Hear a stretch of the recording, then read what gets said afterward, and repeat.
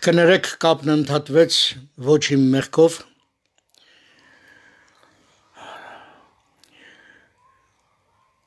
Ուրեմն հիշենք Սիամանթոյի այդ սահմռկեցուցիչ պատկերները։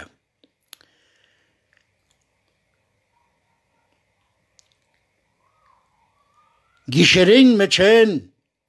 արյուններուն ալիքը կբարձրանա բարդիներուն հետ արյան շատրվաններ ուրվագծելով արևա դարձային տակություն մը կբարձրանա հրդեհի տրված ազնվական քաղաքներեն Ծովուն ջուրերուն վրա գանգեր եւ սրունքներ կերևնան ինձի Ագրավներու կարավաններ կանցնեն վերերեն արյունոտ բերաններով եւ գինովի քրքիջներով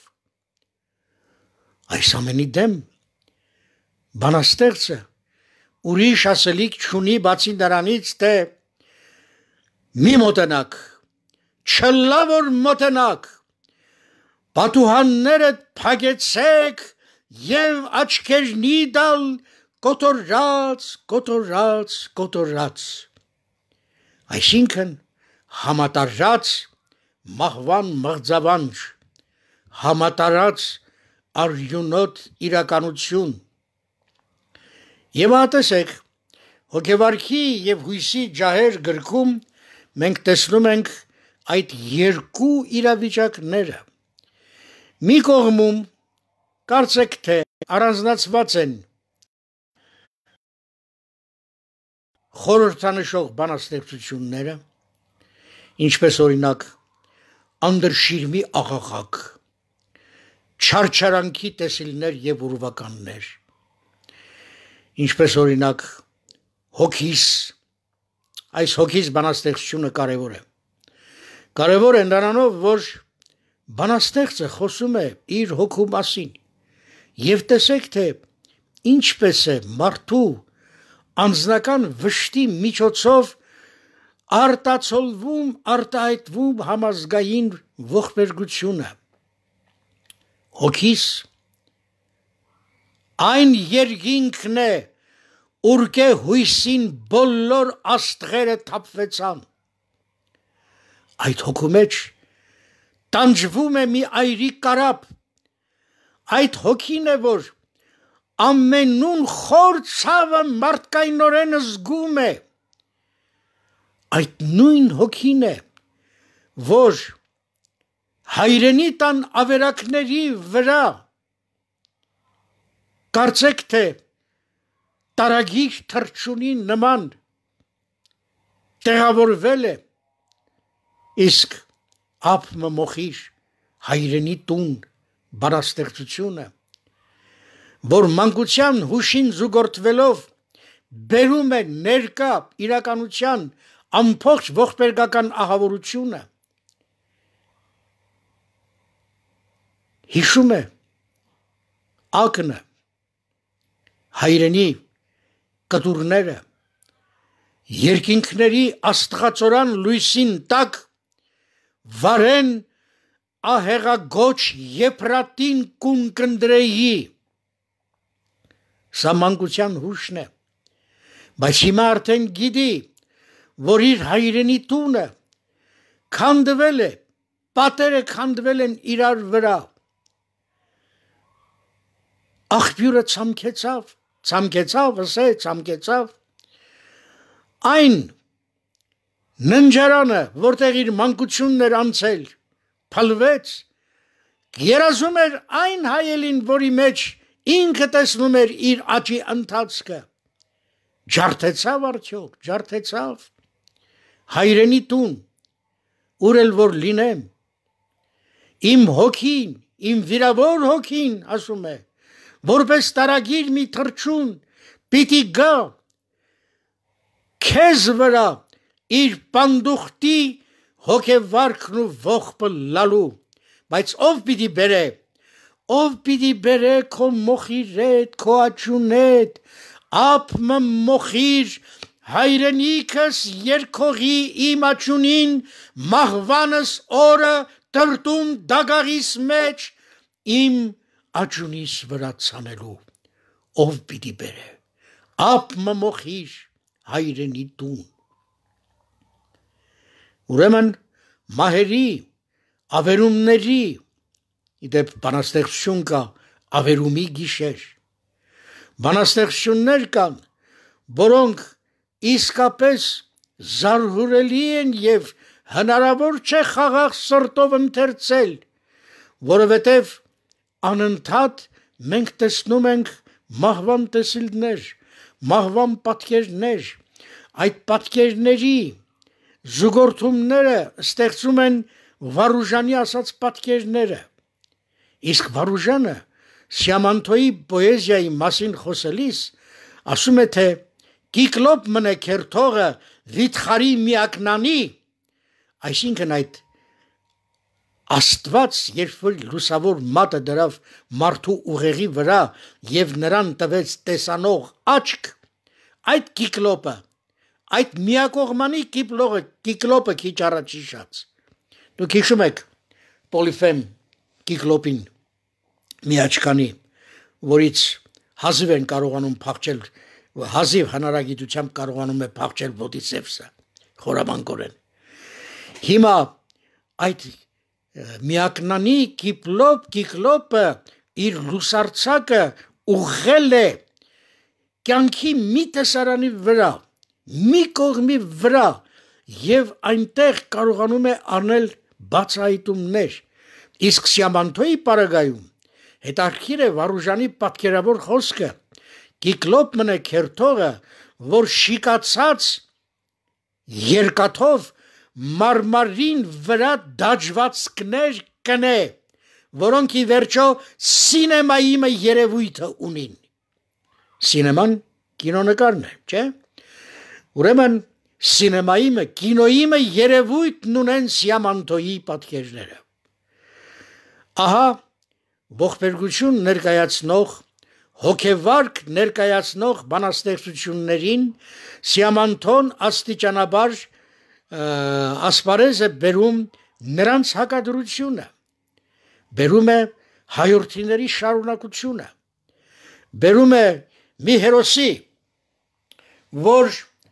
գիտի որ արդեն օրերուն օրն է եւ ինքը վճռական ճակատամարտի պիտի ելնի եկել է բանաստեղծի մոտ նրանից երկ խնդրելու որովհետև երկը ոգևորության խորհրդանիշն է առանց երկի ոգևորության ոչ մի զինվոր կռիվ չի գնում եւ հիմա զինվորը կռվի գնալուց առաջ եկել է բանաստեղծի մոտ նրանից երկ խնդրելու եւ բանաստեղծի նկարագրությունը կամ պատկերումը ավելի ճիշտ է անշուշտ պատկերումը այդ խորհրդավոր հանդիպումը գիշերվա մեջ, երբ որ հանդիպում են զինվոր հերոսը եւ բանաստեղծը, ընդ որում նրանք ինչ որ հարթության մեջ համակշռվում, հավասարվում են։ Բանաստեղծնել է զինվոր։ Զինվորն էլ իր կյանքով է բանաստեղծություն գրում։ Սպասումիս եւ հույսիս քաղցրությանը հետ մենակ էի այդ իրիկուն եւ փրկության ու տարապանքին նժարովը հայրենիքին բախտը կկշռեի երբ ժպտուն ընկերը ներս մտավ եղբայրադեմ եւ ահավոր եղբայրադեմ եւ ահավոր Այսինքն զինվորի եւ բանաստեղծի եղբայրությունը սրանով է հավաստվում։ Ներս մտավ երիտասարդ էր աչվներուն կայծը երկնքի աստղերեն էր որ կծորեր հասակին ձևերը մարմարներու զորություններեն էր կերտված իր ծանրախող գլուխը սքավոր կիսաստվածիմը արյունոտ սրտին կնմաներ։ Պիտի երկար զրուցեին։ Թեման ինչ է զրույցի։ Հայրենիքի տարապանքը։ երկար քով քովի հայրենիքին տարապանքեն կխոսեինք եւ մեր տրտում հայացքները հոգիե հոգի մեղմորեն ճառագայթվեցան դժգունեցա ինչպես երազմը որ առավոտին երևում են կան հետի եւ լամբարիս կապույտ լույսը արդեն արյուններուն նման էր որ վար կտորար երբ ամ հերոսատիպ եւ ժպտուն եւ ձերքը ձերքիս մեջ ըսավ ինձի.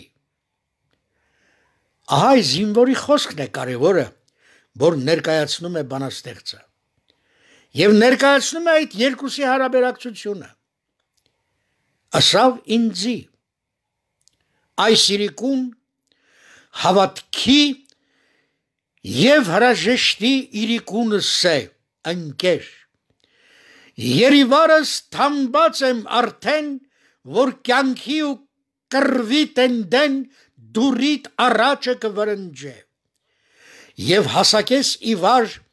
անբիծ սուրսալ մերկե մերկությամբ գերմարտկային վճիրներում ճակատդ շուրթերուս մոտեցուր հավատքի եւ հրաժեշտի իրիկունս է ընկեր եւ տուն սա մակրապայլ թերթերուդ վրան ցեղին ուժը ցեղին ցավը բանաստեղծ է ապագա սերունդներում եւ մեր անցյալի տխրությանն նվեր ես որբ մնեմ եւ ըմբոստ մը գորուսյալներս փնդրելու գերտամ մնաս բարյավ քո երկերետ երկմը տուրինձի երկմը ես երկելով կուզեմ մեռնիլ ահա բանաստեղծի զենքը եւ զիմբորի երգը ինչպես են միախառնվում ինչպես է դա արտահայտվում նաեւ ասպետին երկը բանաստեղծության մեջ ինչու ասպետ որովհետեւ միայն իրենց բնավորությամբ ասպետական վեհություն ունեցող անznազող կտրիչներն են դառնում ազատամարտիկ եւ հայրենիքի կրվի համար դառնում հերոս դառնում առաջինը դառնում առաջնորդ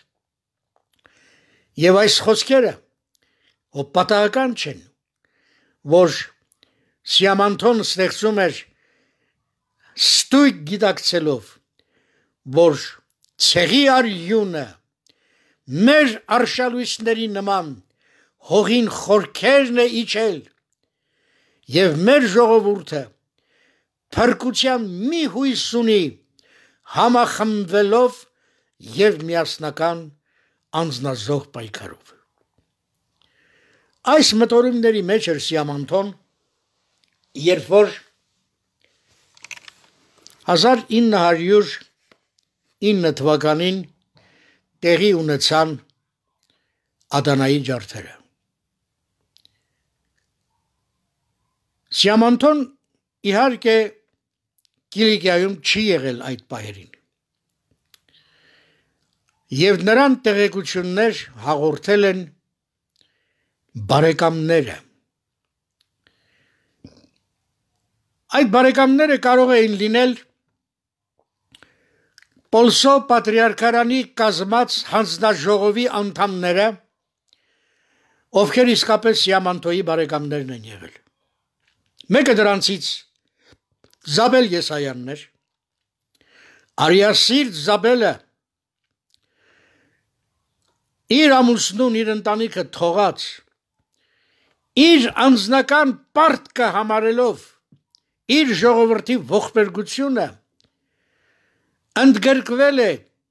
պատվիրակության կազմում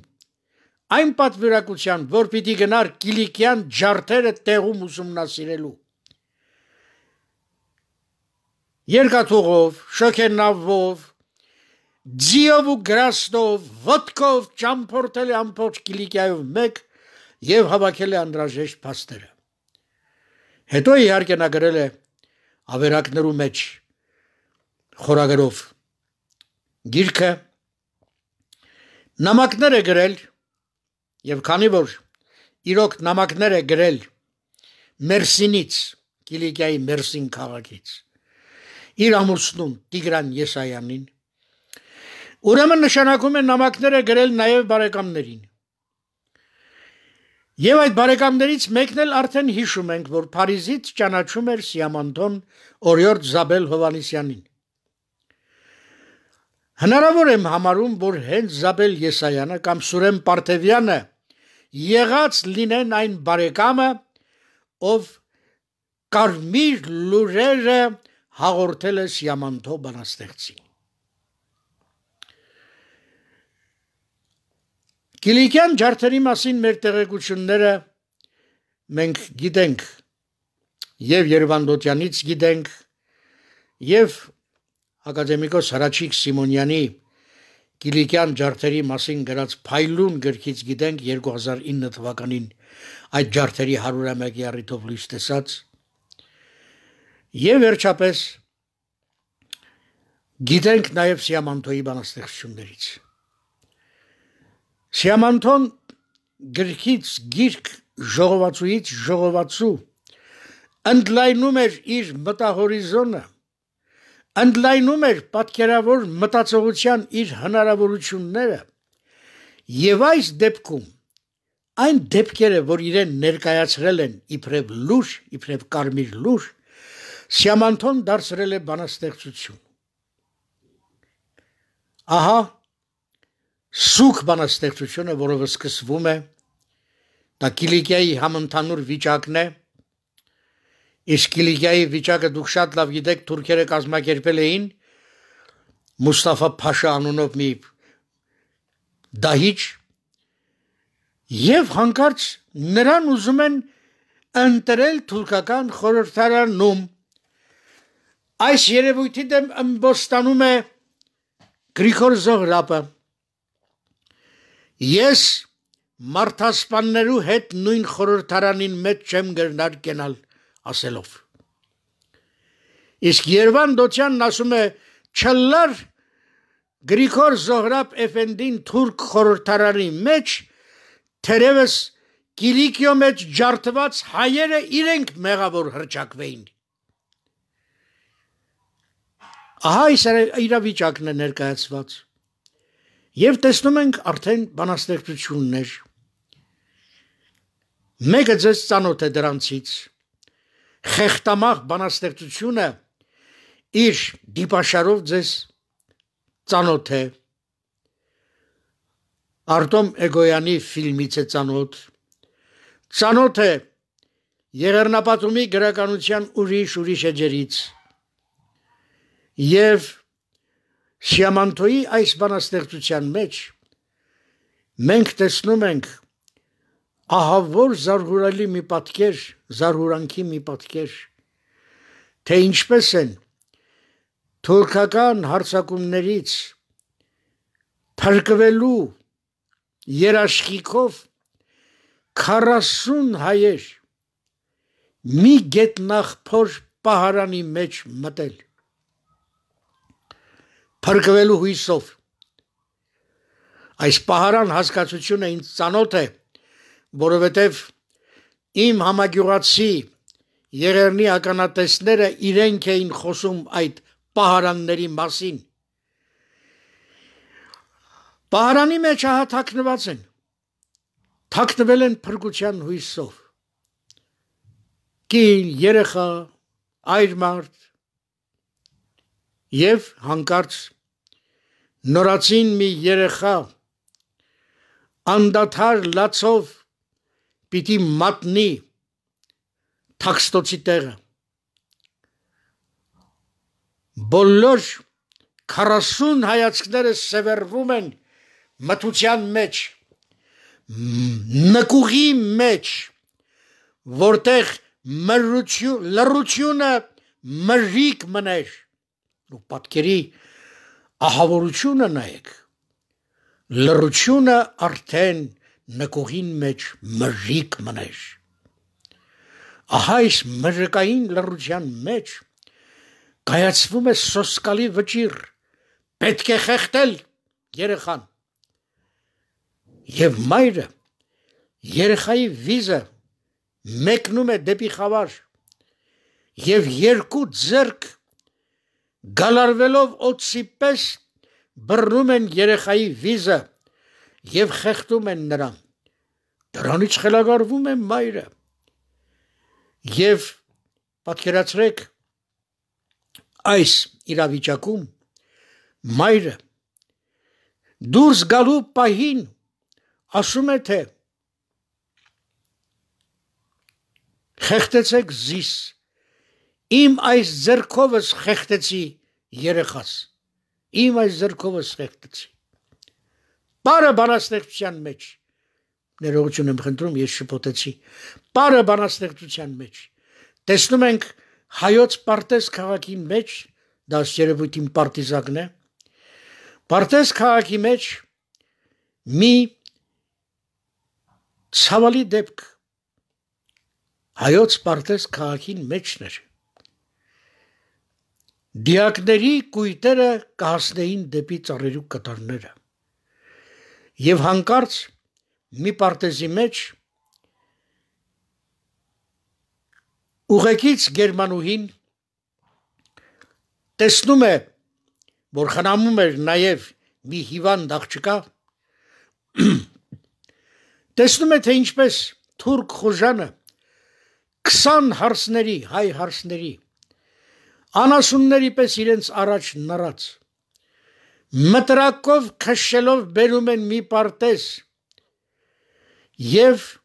ստիպում են նրանց ապարել պետք է ապարեք դուք անհավատ գեղեցիկներ մեր աչքերը կարոտ են ձեր մարմիններին ձեր ձևերին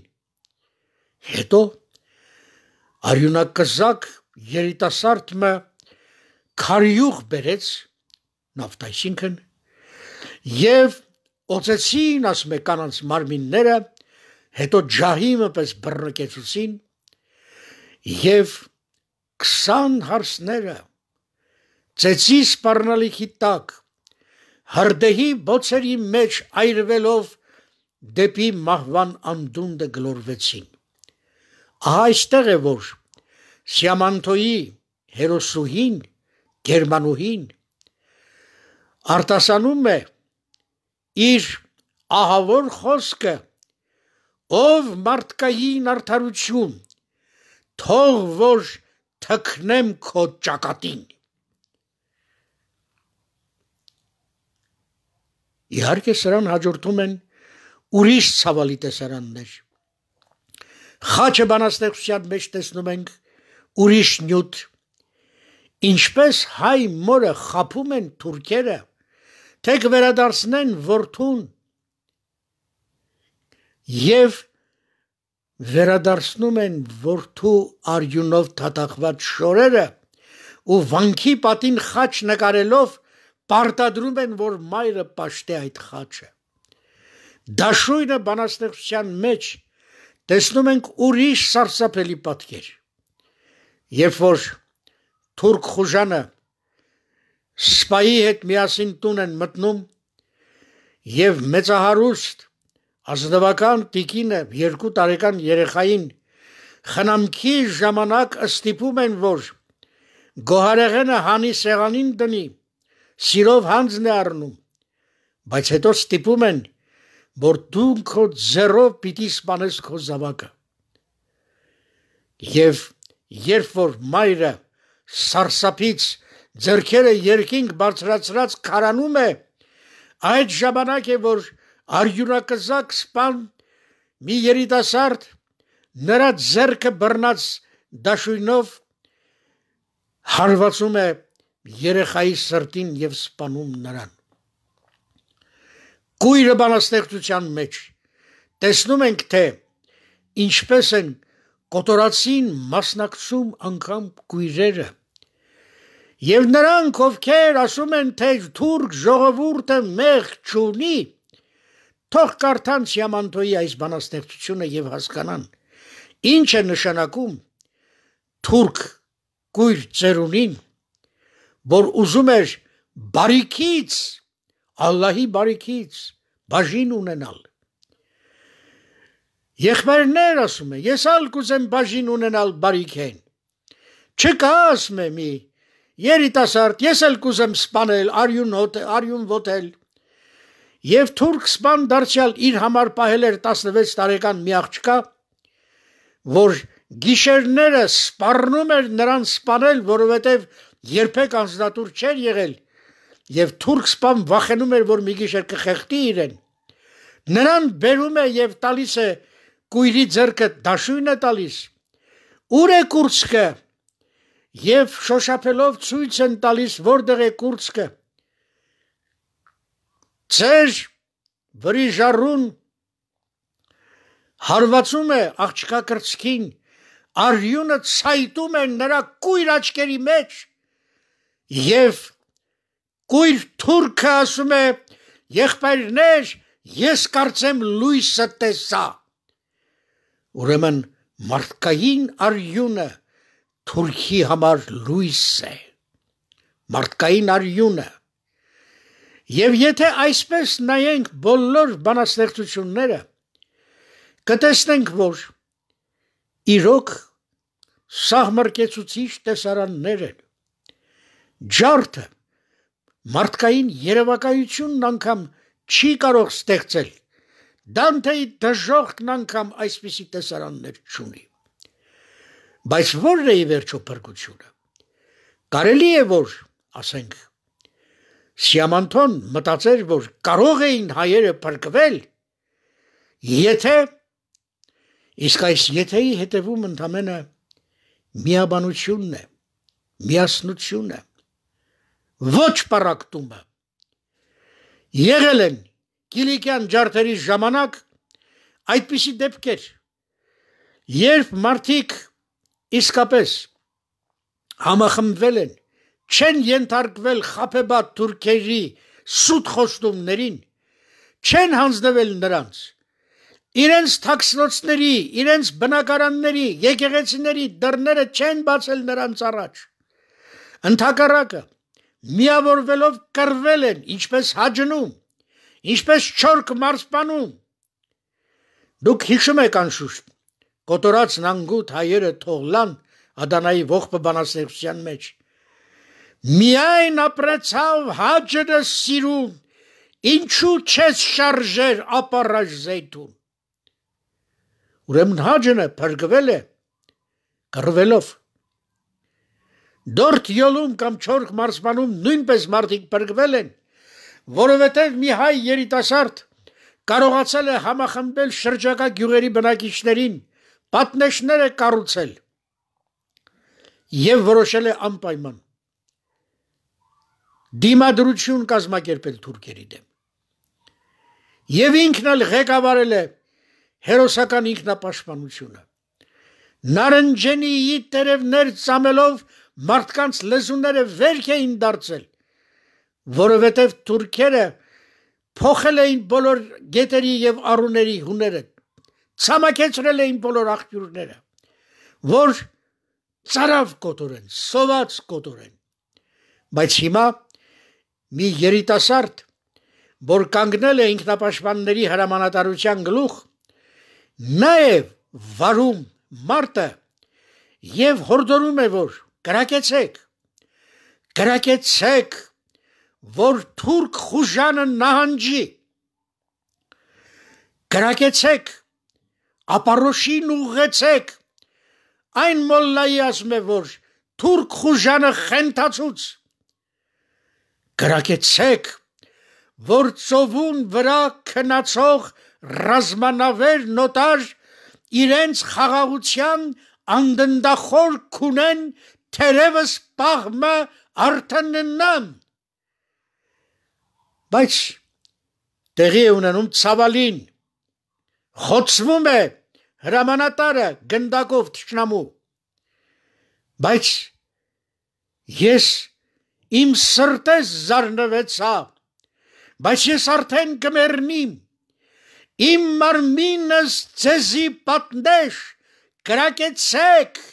կրակեցեք աստեղաբիբ եղբայրներ, կրակեցեք հաղթանակը մեզի է։ Այս հաղթանակի հավատը իսկապես որ Սիամանթոյի բանաստեղծությունները եզրափակում են լավատեսությամբ, որ կրվով կարելի է փրկվել, իսկ գերեզմաններեն ապաշավ բանաստեղծության մեջ ճիշտ ու ճիշտ այդ իրավիճակն է ներկայացվում, որտեղ մարդիկ անդրշիրիմից գերեզմաններեն զղջում են իրենց հնազանդության համար, իրենց խեղճության համար, իրենց գլուխը թշնամու արչև པարզելու համար, որ իրենց վիզը կտրեն։ Օրինակ, տեսեք, զոհված աղջիկներից մեկն ասում է. Ես եղբորս ինչպես չսիրեմ, երբ որ ասում է պատվիս համար նախ զիս մերցուց, հետո ինքը արժանապես մահացավ։ Ուրեմն մահվան տարբեր եղանակներ կան եւ կա արժանապես մահվան խնդիրը։ Երբ 9 թվականին Սիամանթոն մեկնել էր Ամերիկա, Բոստոն, աշխատակցում էր հայրենիք թերթին, այստեղ նա շփվեց պանդուխտների հետ, Ամերիկայում ապաստանած հայ պանդուխտների հետ, եւ նրանց զգացումները Նրանց խորհրդածությունները իմի բերելով գրեց իր հայրենի հրավեր ժողովածուն. 12 կոչ տարագիր հայությանը Այս 12 կոչերի բովանդակությունը նույնն է գրեթե բայց ամեն բանաստեղծություն դառնում է հայրենիքին կապող թել շղթա ամեն բանաստեղծություն դառնում է ցավ ու մորմոք ամեն բանություն դառնում է հայ մարդու ողբերգական ճակատագրի գեղարվեստական հզոր արտահայտություն սրանցից եթե մենք հիշենք եղբայրն իր եղբորը մայրը իր զավակին եթե հիշենք մյուս բանաստեղծությունները Իմ ջալոց ես մոռացա ներողություն եմ խնդրում այդ հոգեվարքի եւ հույս ներողություն կարմիր լուրեր բարեկամես գրքում կա նաեւ թթենին բանաստեղծությունը որը կարևոր է ինչով կարևոր է նրանով որ այդ նույն գերմանուհի ընկերուհին ուղեկցուին տեսնում է ականատես է լինում նաև մի ողբերգական իրադրության երբ որ հին հարևանները հարևանությամբ ապրող հայեր եւ թուրքեր խաղաղ օրերին եղել են իսկապես հացափոխի հարևաններ իսկապես օժանդակել են իրար փոխօգնության տարբեր տարբեր իրավիճակներում բայց հիմա երբ որ խուժանին խենթացնող կոչերով կարխախոսներով գրգռել են թուրքերին հայերի դեմ դարձել են թշնամիներ հին օրերի դրացիներ, եղբայրներ, հիմա եղ դարձել են սպանողներ, դարձել են մարդասպաններ։ Եվ ծերունի պարավը, ծեր պարավը ամեն ինչ հասկանալի է նրա համար, անցնում է դիակի սայլը, մռելա հավաք սայլը եւ թորնիկին սպանել են թորնիկին սպանել են անտարբեր հայացքով թորնիկին ուղեկցում է ինչպես թորնիկին գցեցին այդ սայլի մեջ բայց պարավը տեսնում է որ կտրել են նաև թորնիկի օրը ծնված թթենին թթենի սալ կտրեր են սա ավելի է սասկացնում պարավի ողբը թթենի սալ կտրեր են եւ բանաստեղծի եզրափակիչ ընդհանրացումը հետևյալն է. Մինչ մահերու եւ մոխիրներու մեր դանթեական ճանապարհին ինձ ուղեկցող մտերմուհիս մանկան մպես սկսավ լալ Հիմա մանկան մպես լալ կարող են սկսել նաև այն ընթերցողները, ովքեր կարդում են հայրենի հրավեր բանաստեղծությունների շարքը, որ Վարուժանի կարծիքով Սիամանտոյի գլուխ գործոցն է։ Բանաստեղծին գլուխ գործոցն ինձի կթվի, ասում է Վարուժանը։ Մենք ցանոթ ենք բանդղտության երկերի, Միշնադարյան Անտունիների, ցանոթ ենք մեր ժողովրդի ողբերգությունն արտահայտող արվեստի ուրիշ ստեղծագործությունների, բայց ահա սրանց մեջ տեսեք թե ինչպես է Սիամանթոն աստիճանաբար գնում դեպի թումանյանական པարզություն եւ խորություն ինչպես է մանկության տարիներին իր լսած անտուրիները երկերը ակնա շրջանի երկերը դարձրել բանաստեղծության նյութ ինչպես է նրանց միջոցով արտահայտել նոր ժամանակների ողբերգական իրադարձությունների պատկերը։ Հարսին երազը ուղակի բարձրարվեստ մի ստեղծագործություն է, որտեղ մենք տեսնում ենք իսկապես բանդղտության մեկնած իր ամուսնուն սпасող տարապանքի մեջ հայտնված, կարոտախտի մեջ հայտնված հարսի երազը։ Ու տարիներով մենավորիկ ես քո դարձիդ կսպասեմ իմ սրտահատոր հերավորս եւ սրան հետևում է բանաստեղծական ահավոր ուժի մի պատկեր հարսի իրավիճակը ներկայացնող եւ կարոտից անտեր մնացած իմ մարմնի սարսուրն անգամ այս գիրով նորեն քեզի կուզեմ հաղորդել անտեր մնացած կնոջ սարսուր սարսափելի մի բան մեկնածը տորվան արեգակը չես հիշեր հիշեցնում է ամուսնուն եւ ինչ է պատահել կինը չի կարողացել իր հարսանեկան շորերով ու զգեստներով իր այսպես ասած օժիտով մի մանկական խանձարուր ստեղծել։ Ես ասում եմ չկրծա, չկրծա, չկրծա։ Իմ ասում եմ շորերեն հյուսել այն խանձարուրը, որի մեջ մեր զավակը պիտի մեծնար։ Գիշես ասում եմ որ վերջին օրը մեկնելուց առաջ կուժով ջուրը ես ձիուտ շուքին սրսկեցի